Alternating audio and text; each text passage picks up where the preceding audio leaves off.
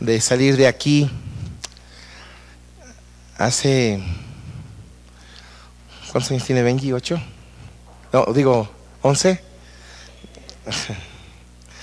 Un favor, hermano. no me regalas Kleenex porque voy a andar bien mocoso. Porfa. Gracias. Sí, hace ocho años el Señor nos dio la bendición de, de permitirnos salir a trabajar allá en la iglesia en formación Maranata, hoy mejor conocida como La Zona, y pues se siente suave estar de regreso aquí en casita. Gracias a Dios. Amén. ¿Podemos orar?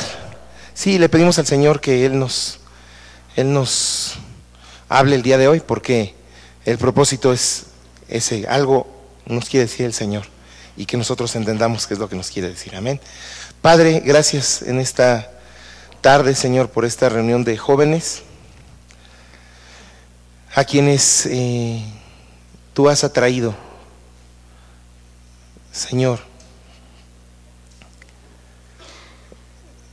Te pedimos que lo que hoy quieres hablar con nosotros dé el fruto que tú estás anhelando. Por eso nos ponemos en tus manos y te damos gracias por escuchar esta oración. Amén. Bien, quisiera comenzar, ya estamos por ahí, ¿verdad? La, primera, abajito, tiene un, botón de play. Yo te digo cuando le demos play, es más, quítala. Todavía no. Bueno, sí, ahí déjala, ahí déjala. Si te mueves, mueves tu cursor sobre la imagen, por acá abajo debe haber un botón de play. Ay, ¿no? ¡Sas, qué horror! No, no, no es video. Yo le había cargado un video. Qué triste. ¿Sí? Ah, bueno, entonces, párenlo. Bien. Y, y, a ver si puede, haber audio. Bueno, de hecho se necesita el audio, ¿sí? ¿Vale? Sí, pero todavía no, todavía no, todavía no, todavía no. Todavía Es que todavía no iba. Bien, quiero empezar por, por como introducción, eh, cuando el hermano Asa eh, me hizo llegar la invitación para que hoy estuviéramos aquí eh, meditando la palabra del Señor, me dijo que el tema que había que abordar era el verdadero amor en la fe. ¿Sí, verdad? Bien. Y para introducirme en lo que el Señor quiere que escuchemos hoy, les quiero comentar que esta historia es verdadera, es completamente verdadera. Les doy la fuente más adelante para que puedan comprobar que es verdadera. Un predicador joven estaba teniendo éxito, un éxito fuera de lo común en su ministerio. Hacía cosas locas. No se sabía, no se sabía muy bien de qué seminario había egresado.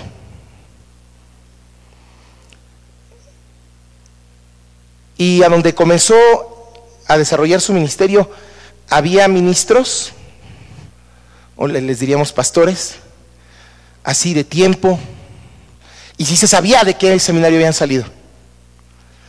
Tenían sus títulos colgados en sus oficinas. Para empezar, este, este, este, este joven predicador no tenía oficina. Entonces no tenía título colgado por ningún lado. Así que los que sí tenían credenciales bien acreditadas, tenían sus sospechas de los resultados que este predicador estaba teniendo, porque estaba teniendo un, éxito fuera de lo común. Los ministros que sí tenían título, que, que tenían así fama, ponían en tela de duda la formación teológica de este joven predicador. No es la misma, eh, como que se nos borró, pero sí está, ¿verdad? No es la misma historia que la de la canción que voy a poner, pero se parece a este hermano de la canción que se llama Juan Pablo.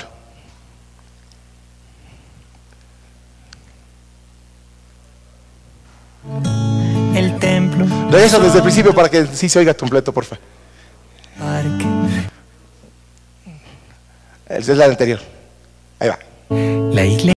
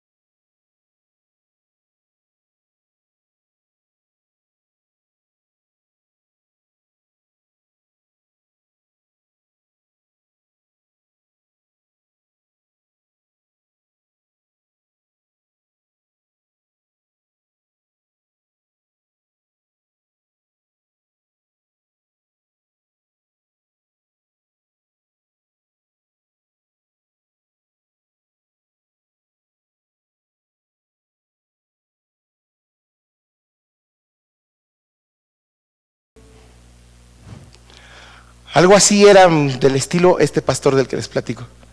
Entonces, como ven, cosas así medio extrañas, ¿no? Así fuera de lo común, pero estaba Dios bendiciéndolo mucho. Ahora bien, en el ministerio uno nunca sabe lo que va a pasar. Pasan cosas de lo más inesperadas. Es algo muy bonito del- del ministerio. Está uno sirviendo y de repente les platico una, un- una de las que nos han pasado a nosotros, me han pasado a mí. Estábamos así en la iglesia y de repente llega un cuate, no sé si venía tizo o con pastillas o alcohol, no sé cuál, o a lo mejor eran varias juntas. Y llega y estábamos cantando en la iglesia y me dice, ¿qué? ¿Me da chance de echarme un rap?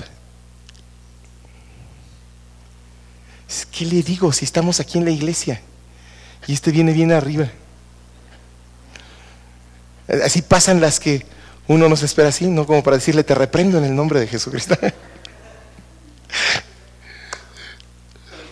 Bueno, le pasó así a este, a este, a este joven predicador que estaba teniendo un culto como el que vimos ahí en la última imagen, en la calle, mucha gente alrededor, y entonces los, los pastores bien acreditados le trajeron, un caso bien complicado. Fíjense que eh, eh, estaba el- el joven pastor, así como les digo en la última imagen que vimos ahí en la canción, rodeado de su congregación, la gente que estaba creyendo en Jesús porque Él les enseñaba, y llegan los pastores así de traje, corbata bien puesta, camisa bien planchadita, y traían entre ellos una muchacha. Y le dicen, hermano, ¿lo podemos interrumpir? Y el joven les dice, sí, claro. Y le dicen, fíjate que aprovechando que estás aquí con, con tu iglesia, te queríamos preguntar. Es que esta muchacha tiene poco de casada y la agarramos en adulterio. Y digo, aprovechando que estás con tu iglesia y que les predicas de Jesús, que les predicas de Dios, ¿tú cómo arreglarías esta situación? Porque esta es una mujer pecadora. La muchacha estaba así agachada, entre que lloraba y estaba toda pálida, parecía que se iba a desmayar. Como lo vieron que se quedó un poco callado, le dijeron, mira, te vamos a ayudar, hermano. Porque nosotros que ya tenemos tiempo ya hicimos un juicio. Y le soltaron toda la jurisprudencia. ¿Alguno aquí estudia leyes? O al menos va en prepa, tercero de prepa. Sí. Sí, sí, estoy diciendo bien la jurisprudencia, sí. Le soltaron toda la jurisprudencia teológica que tenían en la mano. Dijeron, nosotros ya decidimos que lo que se tiene que hacer con una vieja de esta calaña es esto. Y luego levantó otra mano y dijo, yo aparte, quiero decir que está el agravante de esto. Y luego el más, así el más con cara de, de sabio, dijo, Pero se les está pasando que esta mujer también transgredió de manera flagrante y, y soltó su, su- su bien elaborado discurso. Y el joven predicador seguía así como que callado. Entonces le insistieron, hermano, aprovechando que están aquí todos los que están creyendo en Dios porque tú les predicas, ¿tú qué harías? Y entonces el joven predicador les dijo, todo lo que ustedes dijeron está muy bien estructurado. Nada de lo que dijeron está basado en la mentira. Todo lo que han expuesto está basado en la verdad. Así que hermanos, lo único que me resta decirles es lo siguiente. El que en su vida haya cumplido con todo lo que han dicho y con lo que acusan a la mujer, sostenga su juicio y su condena. No tengo nada más que decir. Ustedes que han elaborado un juicio tan bien estructurado y que saben en todo lo que ella falló, el que haya cumplido con todo lo que están acusando, sostenga su juicio y su condena.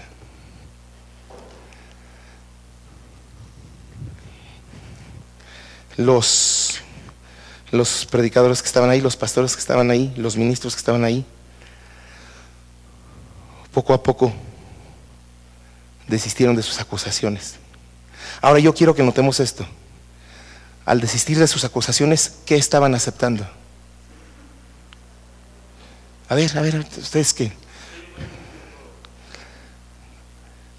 Sí, en otras palabras. ¿Eh?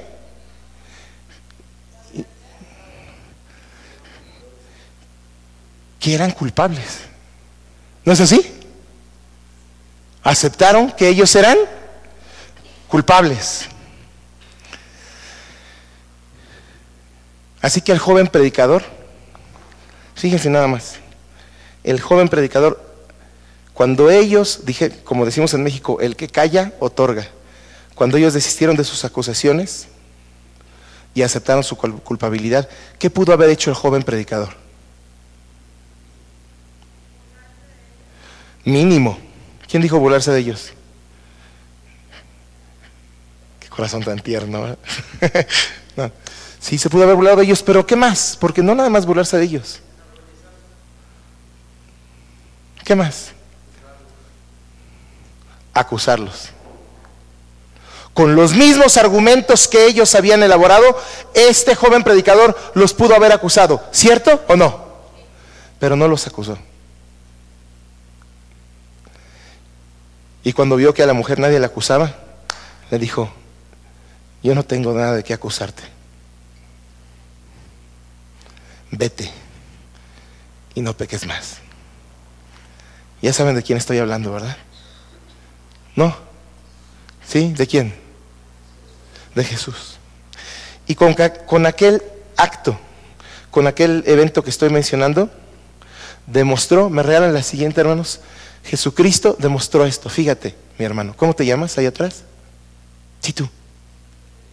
Edith, Eric. Fíjate, Eric, con aquel acto el Señor demostró que la fe, y lo marco entre comillas, ¿sale? Que la fe sin amor no es más, gracias hermano, la fe sin amor no es más que un motivo de soberbia. Vayamos a la Biblia, los invito a ir a la Biblia y veamos qué nos dice Dios en su palabra acerca, hermanos, gracias, qué nos dice acerca de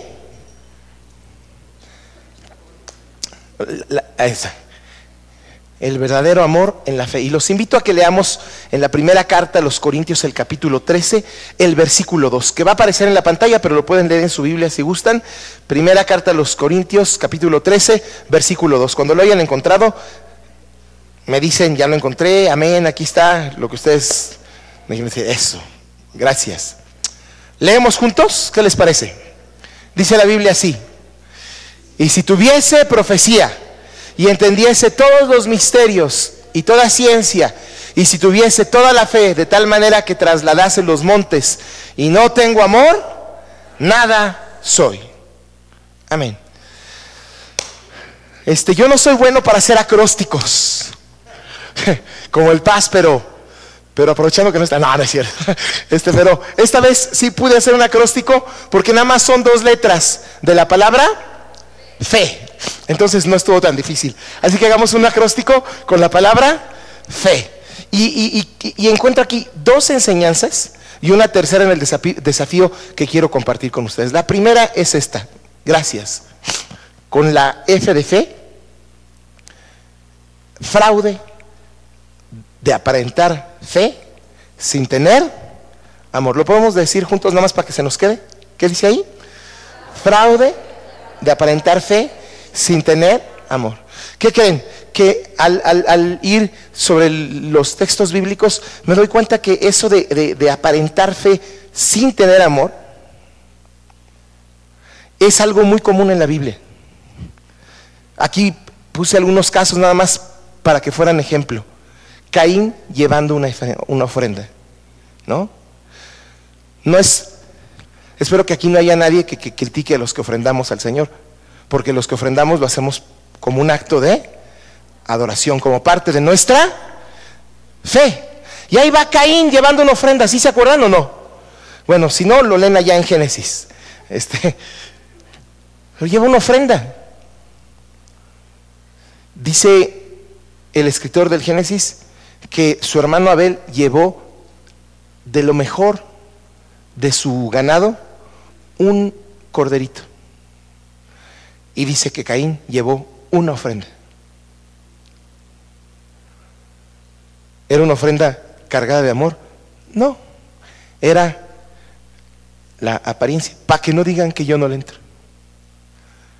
Balaam, el profeta, si yo puedo, yo puedo bendecir y yo puedo maldecir, páguenme una lana.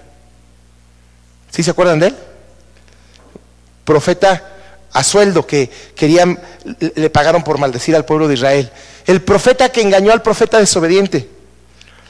Hubo un profeta que el Señor mandó a, a, dar un mensaje de parte del Señor le dijo, te vas por un camino y por ese mismo no te regresas, ni te quedes por allá sigue mis instrucciones. Y por allá había otro que se decía profeta que dijo, ¿qué crees? El Señor me acaba de mandar un mensaje que, te, que dice que te quedes a comer en mi casa. Y se quedó a comer en casa de ese profeta. Y ese mismo profeta que lo engañó, Dios mandó eh, palabra por medio de él para que le dijera a ese que había desobedecido, no vas a llegar a tu casa vivo. Pues no, ¿qué profeta? pero estaba viviendo su fe, así como para exaltarse y decir, no, yo también soy profeta. Me salté mucho para mencionar al discípulo Judas. ¿No era discípulo del Señor? ¿Sí o no? ¿No le lavó también los pies el Señor? ¿No estuvo en la alimentación de los cinco mil? ¿No viajaba también en la barca cuando el Señor calmó la tempestad? ¿No era de la fe de los apóstoles? Pero dice la Biblia que tenía la bolsa de los dineros y era ladrón. En la Biblia abundan los ejemplos de gente que vive aparentando fe sin tener amor. Y decía yo, el fraude de aparentar fe sin tener amor. Se puede fingir tener fe. Se puede fingir tener fe. Yo les eh, digo a mis ovejitas, en especial a mis hijas,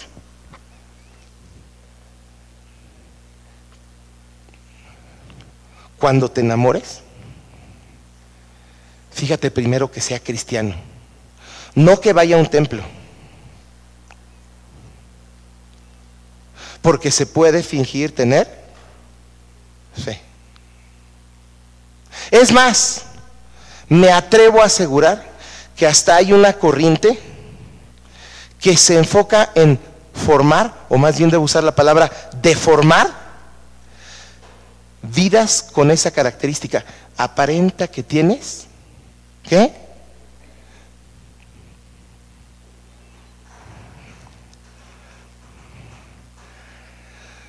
Santiago nos dice ¿Me ayudan, hermanos? Clic. Eso. Santiago nos dice, hermanos míos, que vuestra fe, ¿lo pueden leer conmigo? Hermanos míos, que vuestra fe en nuestro glorioso Señor Jesucristo sea sin acepción de personas. Fíjate que, fíjate que aquí no puse los versículos que estaban ahí en medio, están ahí en medio, pero habla de que en los templos de estos hermanos entraba gente este, que llevaba ropa muy chida y le decían, siéntese aquí por favor hermano, Dios lo bendiga. Y entraba gente que no se veía que tuviera con qué y lo dejaban allá. Y Santiago dice, hermanos míos, que vuestra fe en nuestro glorioso Señor Jesucristo sea sin acepción de personas. Y luego dice, si en verdad cumplís la ley conforme a la escritura y sacarrácatelas, nos dice esto, ¿qué? Amarás a tu prójimo como a ti mismo. Si tienes fe, ¿qué? Amarás a tu prójimo como a ti mismo. Hermanos míos, ¿de qué aprovechará alguno? Perdón, ¿de qué aprovechará si alguno dice que tiene fe y no tiene obras? ¿Podrá la fe salvarle?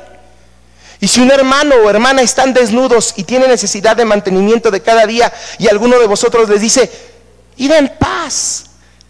O sea, no tiene lana, no tiene casa, no trae zapatos. Y tú le dices, adelante hermano, la paz del Señor sea contigo.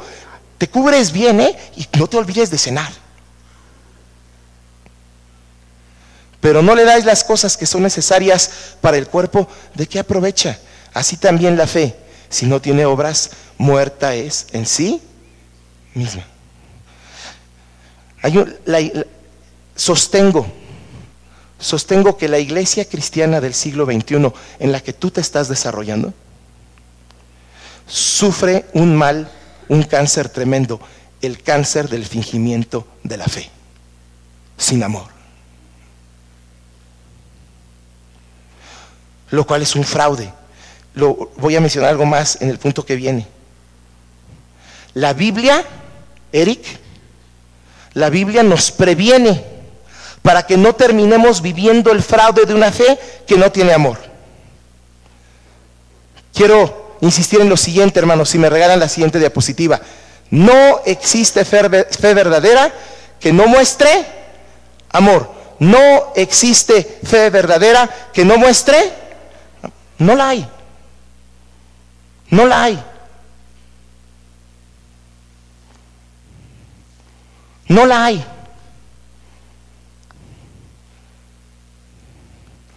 Y desgraciadamente, desgraciadamente, vuelvo a decir lo que dije hace un rato, creo que existe hasta una corriente que de lo que se encarga es de enseñarle a las nuevas generaciones a fingir que tienes fe. Pero no existe fe verdadera que no muestre amor. Santiago nos lo vuelve a decir. Me dan aquí el siguiente clic, hermanos, por favor. lo lean conmigo, por favor. La religión pura y sin mácula, es decir, sin mancha, delante de Dios el Padre es esta. Leanlo fuerte, por favor, conmigo visitar a los enfermos y a las viudas en sus tribulaciones y guardarse sin mancha de este mundo. La religión verdadera se distingue por él. ¿Por qué? Por el amor. La fe cristiana, hermanos, me regalan la, última diapositiva de este punto, la fe cristiana necesita vivirse en amor. De otra manera es un me voy a confesar con ustedes de algo que me pasó hace muchos años. Estaba yo en la prepa y tenía una maestra a la que nadie quería.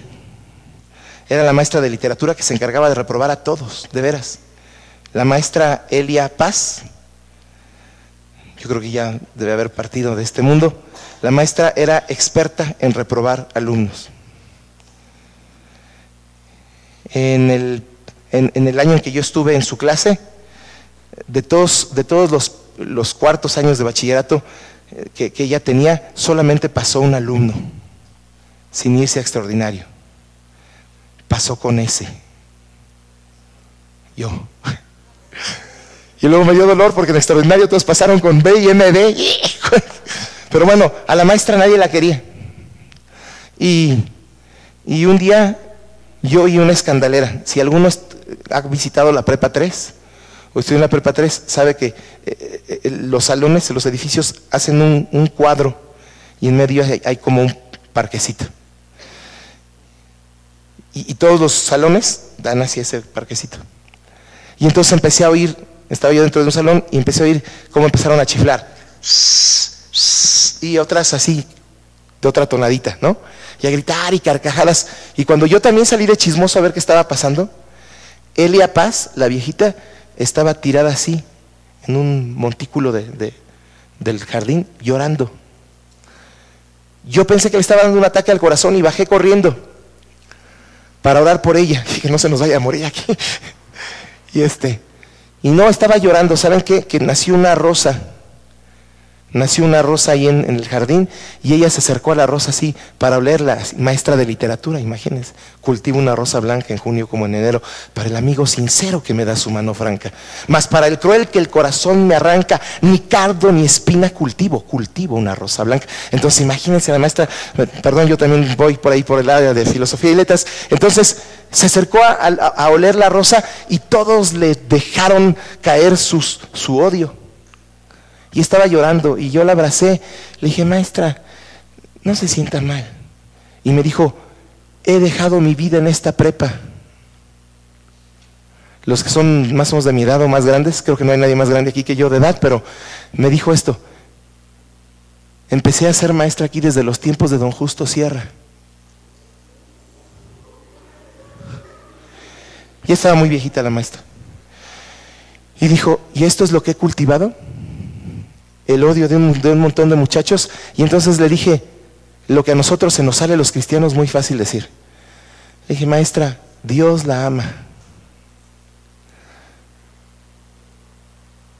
Y gracias a Dios eso le cayó muy bien a la maestra.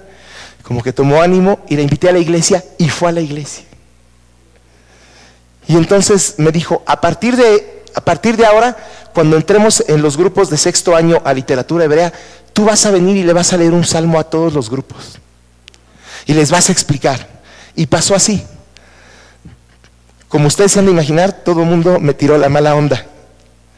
Cuando le- leí, el Salmo 23 y compartía con ellos un- un- un- un- una pequeña meditación. Pero hubo un muchacho, hubo un muchacho, le estoy hablando de 1984.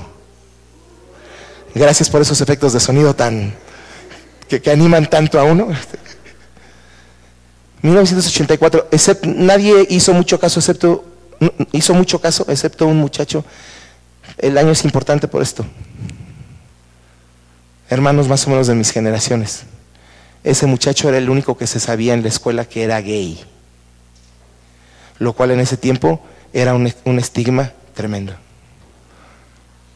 Y cuando yo dije, Jehová es mi pastor, nada me faltará, mencioné, y es nada. Mencioné algunas cosas, entre ellas mencioné amor. Y este muchacho, que abiertamente todos sabían que era gay, se acercó y me dijo, ¿tú crees que Dios para mí tenga amor? Y le dije, desde luego que para ti Dios tiene amor. Y me dijo, ¿tú podrías acercarme a ese Dios? Le dije, con todo gusto. Y empezamos a juntarnos un día de la semana a leer la Biblia, pero este adolescente de fe fingida, no le tocaran ciertos aspectos porque y entonces uno de mis amigos me dijo oye no sé si todavía se usa esta palabra me dijeron no me haces un paro y le dije va con quién con tal en dónde a qué horas va no no no te emociones no pasó nada yo estaba haciendo acá sombra hermano no pasó nada. No pasó nada, pero yo sí, sí estuve ahí de fanfarrón. Me quité la camisa y... Cuando no pasó nada, ustedes saben esas escenas muy bien, se empezó a ir la gente y me quedé con una sola mirada que me estaba viendo. La del muchacho con el que había empezado a leer la Biblia. Fue el que se quedó al último. Y me dijo, lo que acabas de hacer me acaba de decir más de lo que me habías dicho no nos volvemos a ver. con F de, con F de,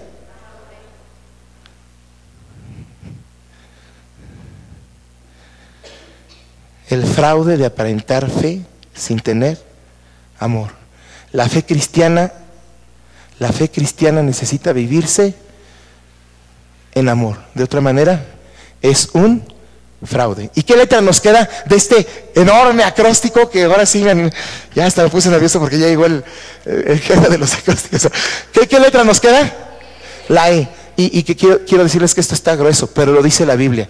No lo puedo dejar de decir, no lo podemos dejar de tocar. ¿Me das la siguiente, hermano? E, ¿sí? De equivale a no ser. Equivale a no ser nada. Algo más que nos dice este pasaje que acabamos de leer es algo que explota como una bomba. Dice, si no tengo amor, ¿qué? A ver, que estoy así como explosión de bomba porque así me sonó y ustedes, ustedes que van a estar ayudando con los, con los este, efectos especiales, pues échenme la mano, ¿no? Dice, si no tengo amor, nada soy. Es decir, fíjense qué gacho, ¿eh? Fíjense qué gacho. Es decir, hay personas que viven su fe, y otra vez lo pongo entre, entre comillas, así, de que no, no, no hay tal, eso no es fe. Pero hay gente que vive, hay gente que vive su fe para no ser nada, al menos ante los ojos de Dios. ¿No es triste? Yo te pregunto, ¿para qué? ¿Cuántos van a la escuela? ¿Cuántos de los que están aquí van a la escuela? ¿Sí? Y los que no, ya no sean flojos.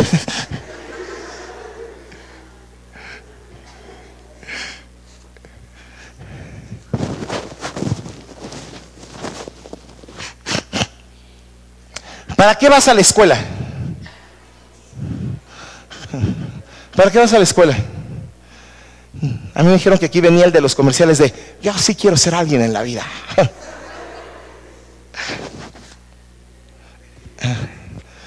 Oye, ¿habrá alguien que vaya a la escuela para no ser nada? ¿No, ser algo, ¿No sería algo terrible? Se trata, fíjense, se trata de tener una formación académica para qué?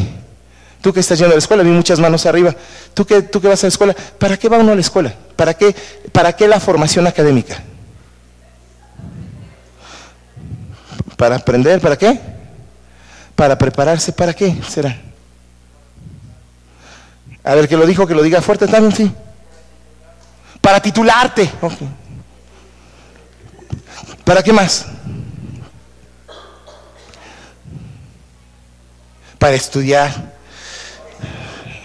Aprendan. Se, se, trata de ir a la escuela y de tener una formación económica, económica. Se trata de tener una formación académica para que nos convirtamos en una persona que no éramos antes.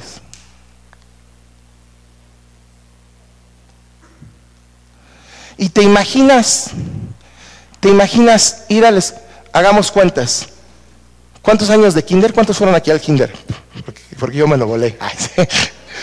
¿Tres años de kinder? Ah, esos, esos. A ver, hijito, tú que terminaste ingeniería, ayúdame a hacer esta suma.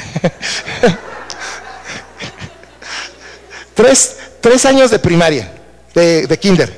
¿Y de, ¿Y de, primaria? Seis. ¿Cuántos llevamos? Nueve. ¿Y, ¿Y, cuántos años de secundaria? Tres. ¿Cuántos van? ¿Y de prepa? Si no resecte, resexteas, ¿verdad? Porque si resexteas, cuatro. Pero echemos de cuatro. ¿Cuántos van? 15 o 16. ¿Cuántos de universidad? Cinco, vamos a decir cinco. Vamos a decir cinco. ¿Cuántos llevábamos? 16 años en total. Ya llevamos 16 más 5. 21. Maestría. ¿Cuántos años de maestría? Dos. Y te avientas el doctorado. ¿Cuántos años de doctorado? Tres. Otros tres.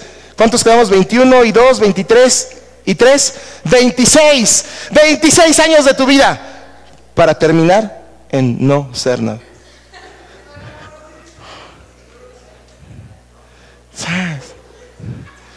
Qué, qué, qué, triste, ¿no? ¿no? ¿No sería una desgracia? Tu papá te empezó a llevar a la escuela cuando tenías 3 años, al kinder, y después de 26 años ya tienes 26 y 3, 29, y dice, mijito, ahora sí, este, ya vas a ayudarnos a hacer el sostén de la casa. Pues papá, fíjate que ni el certificado del kinder tengo. Nada. bueno, la Biblia dice que si tienes una fe tremenda, como la de aquellos que enfrentaron al joven predicador, usas un, un, un traje y una corbata y cargas una Biblia acá, siguen con una, con una pose. Bueno, de menos vienes al templo y te sientas. Te sientas. Si es que no te ganan tus amigas para distraerte en la plática, ¿no? Este. No, no se me desinflan que no ha acabado.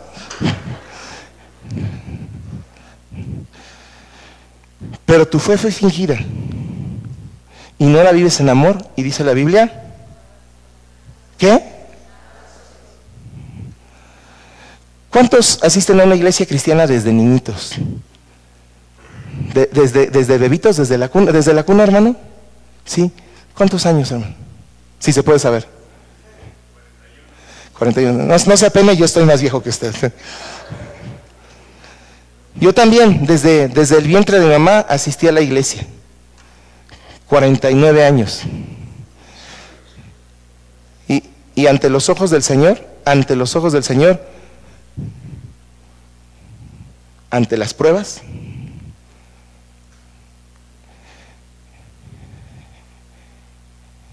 el dictamen podría ser, Misael, después de 49 años, nada eres.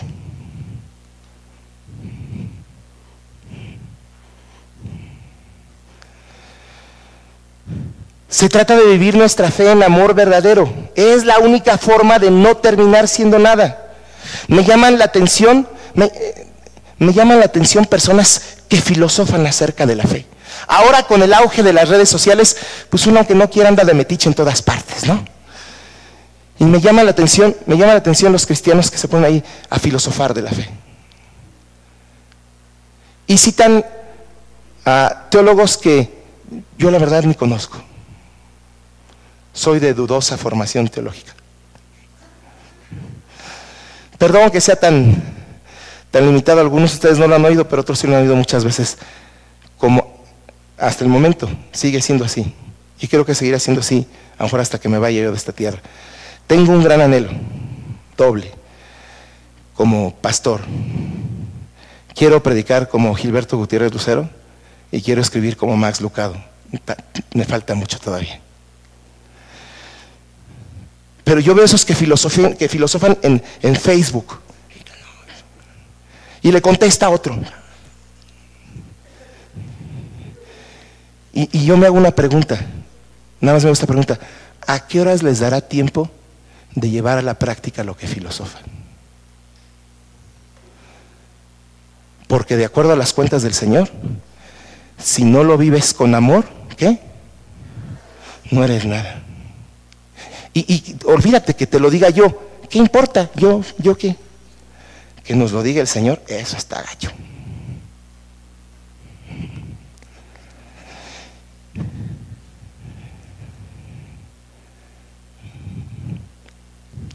Un cristiano, hermanos, gracias. Un cristiano necesita vivir su fe en amor para evitar terminar en, otra vez, un cristiano necesita vivir su fe en amor para evitar terminar en... Yo, yo lo veo así, yo creo en la gracia. No crean que vengo aquí a hablar de otra cosa. Creo en la gracia. Le doy gracias a Dios porque el Señor nos trajo a mi familia y a mí a conocer la gracia del Señor ahora. Creo en la gracia, pero también creo en la verdad de la palabra del Señor. Y el que no vive su fe en amor, el Señor dice, no te engañes, no eres nada. Por eso encuentro un desafío en este pasaje.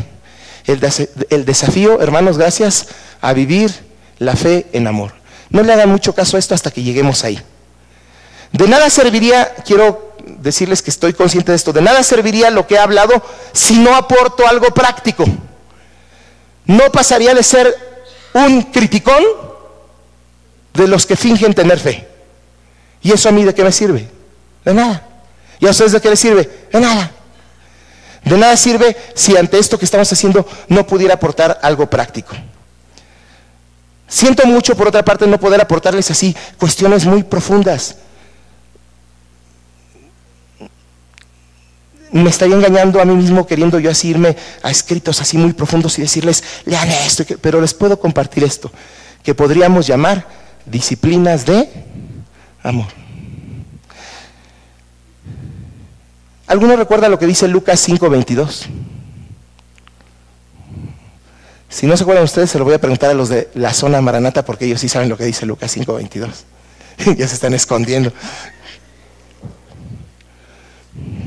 ¿Ah? No, dice, y Jesús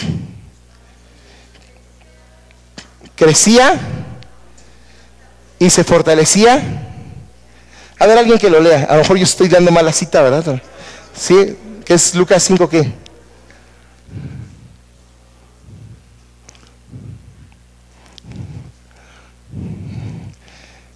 Por eso no se acordaban. Primero de bien la cita y luego nos pregunta. ¿Sí? ¿Es Lucas qué? Ah, 2.52. Ahí van los números. Lucas 2.52. Ah, ¿nos lo lees?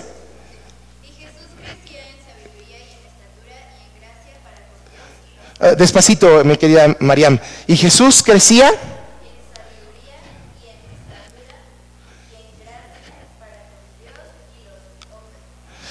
Y Jesús crecía, dice la versión Reina Valera, ¿cuál estás leyendo? 60, tal vez la versión antigua dice, y, y, Jesús crecía y se fortalecía. Y dice los mismos datos. ¿Está hablando del crecimiento de quién? ¿Está hablando del crecimiento de quién? ¿Quién es Jesús? ¿Quién es Jesús? No se animan a hablar claro.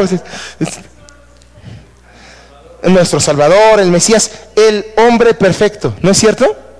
El único hombre perfecto que ha pisado la tierra.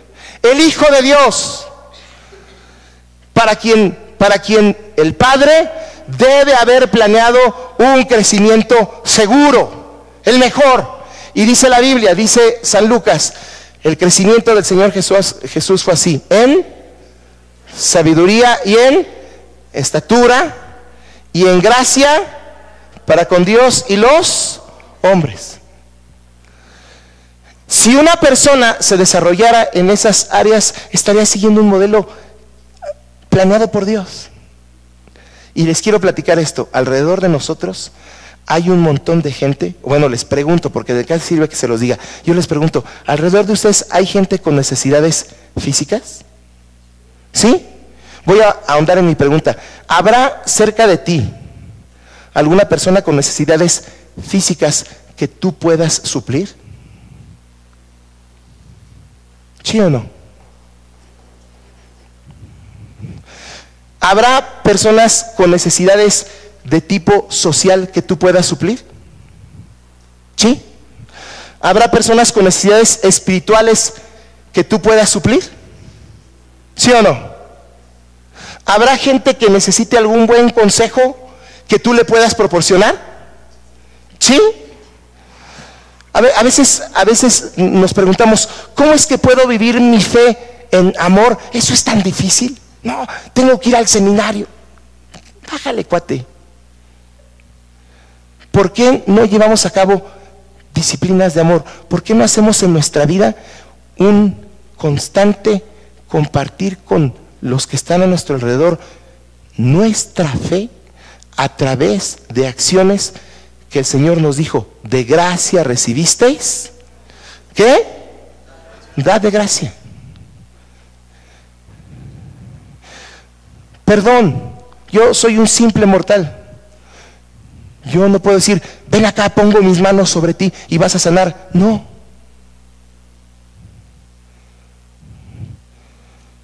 Pero sí puedo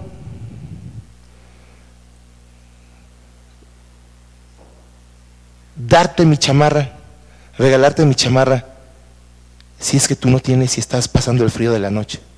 ¿No es cierto? ¿Sí o no? No soy ningún potentado. espiritual, pero sí puedo acercarme contigo y orar. Y permitirte la experiencia de que Dios, de que tú escuches una oración que levantamos a Dios y después te des cuenta que Dios contesta esa oración. ¿O a cuántos de ustedes, cuántos de ustedes oran porque creen que Dios nos escucha? ¿Sí oran porque creen que Dios nos escucha? ¿O cuántos escuchan porque pues todos, todos cierran los ojos y para que no me digan que yo no estoy orando? ¿Sí oramos por eso? ¿O, oramos porque sabemos que Dios nos escucha? ¿Sí? Y Dios hace cosas que nosotros no podemos hacer. Nosotros le pedimos y el Señor responde. Fíjense que ya donde vivimos, donde está la, la iglesia en formación, hay un, hay un teporochito conocido de toda la colonia, el Charlie. Sí, el Charlie. Tiene tres dedos, ¿verdad? Tres dos, el Charlie. Apestaba. El Señor me acaba de sanar. No percibía yo olores, ya vuelvo a oler. Y entonces los primeros días que venía el Charlie y lo abrazaba yo, me decían, huele horrible. Y yo decía, pues gracias a Dios que no huelo. Pero venía el Charlie a la iglesia.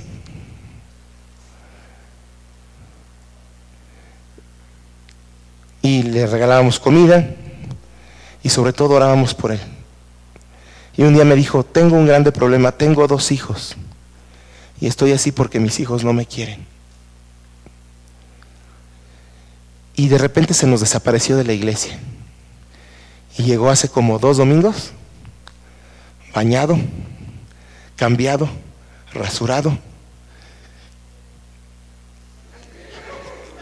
¿Qué dijo Sandy?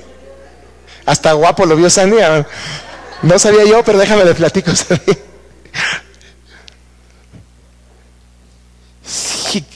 ¿Qué te pasó? Y me dijo, padrino, mi hija vino a buscarme. Abajo a, la base del árbol donde me, quedaba, donde me quedaba dormido, Vino y me dijo, papá, no tiene por qué estar aquí. Y llegó cambiado. Dios comenzó a transformar su vida. ¿Qué hicimos? ¿Eh? ¿Qué hicimos? Abrazarlo. Señor, Charlie no tiene dónde quedarse. Fue a pedirnos permiso de quedarse en la iglesia.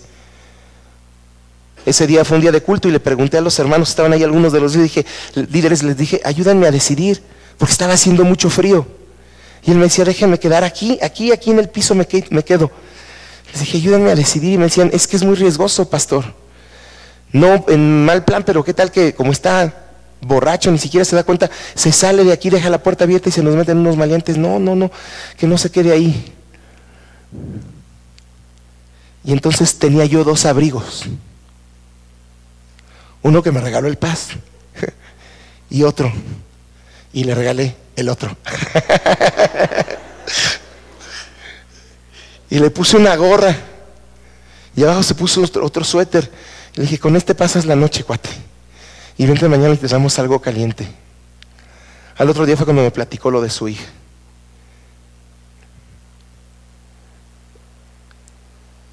De la verdad que ni siquiera fuimos a buscar a su hija. Le dije, Señor, Charlie tiene necesidad de que uno de sus hijos venga y le demuestre que lo quiere. Podría cambiar. ¿Podemos orar por alguien? ¿Podemos orar por alguien? ¿Sí o no? Me podría seguir hablando, pero no tiene mucho caso, porque esto está muy sencillito de entender. Disciplinas de amor, porque vivir la fe sin amor nos lleva a hacer nada. Nada soy.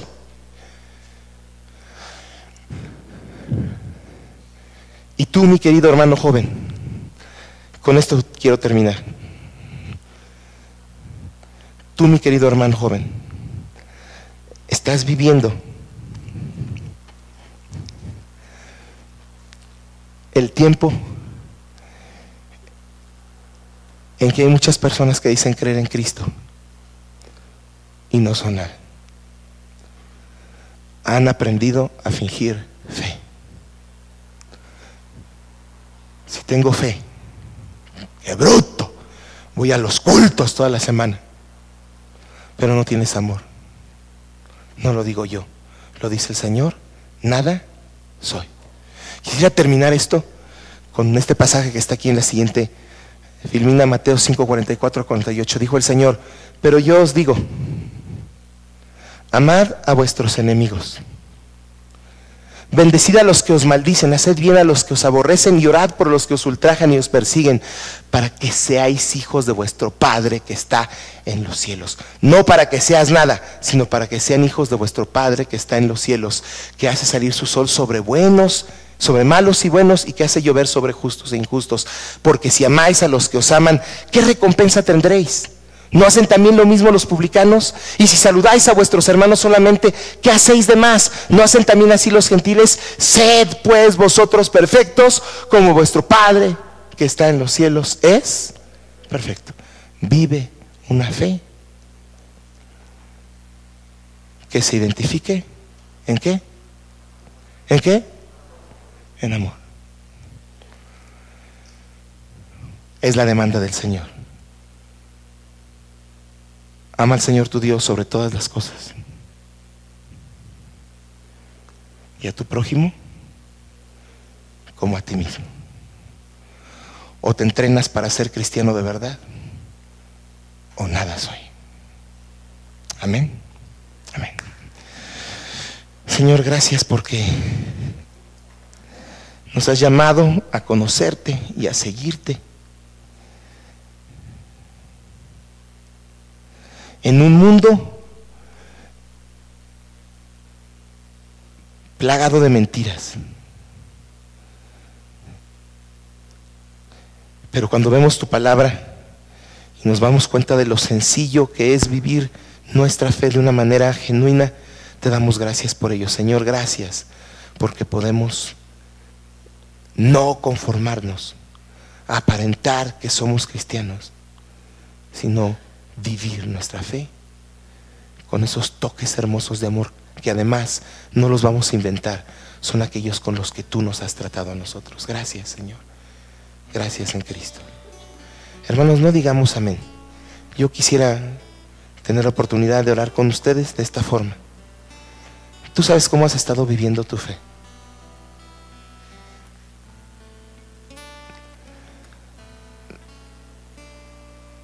Yo no puedo hacer más que compartir lo que el Señor me dio y, seguramente el Señor a alguien aquí le haya dicho algo. Si eres el único al que el Señor le dijo algo esta noche, ve la importancia que el Señor, que cobras tú a los ojos del Señor, porque el Señor vino a hablar contigo. Si tú te encuentras ante la situación que te ves en riesgo, que escuchas que ese mensaje, esas palabras, bien podrían aplicarse a tu vida. Nada soy. Y estás dispuesto a no permitir que eso sea así. Seguro que quieres comprometerte con el Señor a, a vivir tu estilo de vida dejando que el amor del Señor se mueva a través de ti hacia otros. Si es tu caso, hermano, quisiera orar por ti. Permíteme ese privilegio. Si alguien aquí dice, Señor, gracias, sé que la cosa es conmigo. ¿Por qué no me lo dices levantando tu mano y me dejas orar por ti? Dios te bendiga, pequeña. Dios te bendiga allá atrás. Dios les bendiga. Dios te bendiga. Dios te bendiga. Dios les bendiga. Oremos, Señor, gracias. Reconocemos que tú nos amas mucho y que quieres vernos viviendo una fe genuina. Gracias porque podemos pedirte de tu sabiduría, de tus arrestos, valor que venga de ti, inteligencia, interés e integridad para vivirlo de esta forma. Gracias, Señor. Gracias en el nombre de Cristo por escucharnos. Venimos a ti con esta petición y nuestra vida está en tus manos. En Cristo Jesús, gracias. Amén.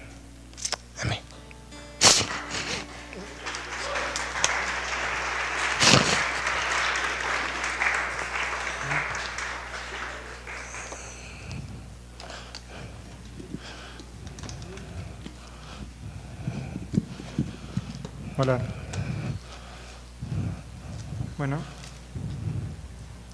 Y como este edicto fue divulgado, los hijos de Israel dieron muchas primicias de grano, vino, aceite, miel y todos los frutos de la tierra. Trajeron asimismo los diezmos de todas las cosas en abundancia. Es tiempo de recoger las ofrendas.